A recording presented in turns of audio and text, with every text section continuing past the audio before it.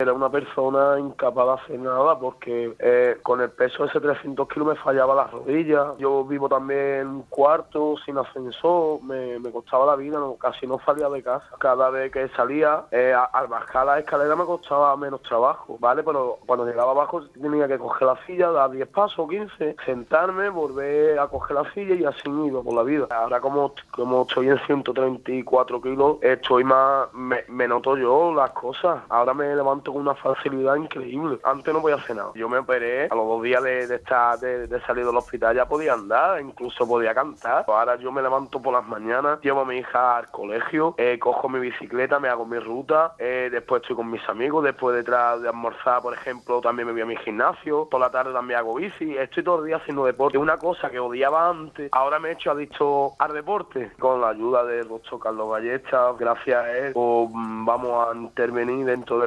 20-25 días y me van a hacer una cirugía general. Primero empezaremos con, con, la barriga, quitándome la barriga porque son tres intervenciones. La verdad yo no tenía en mi cabeza ni pensamiento que iba a llegar a este extremo, la verdad. Yo pensaba que mi vida iba a ser siempre estar en casa y privarme de toda de la vida. Una calidad de vida impresionante. Yo estoy viviendo un sueño.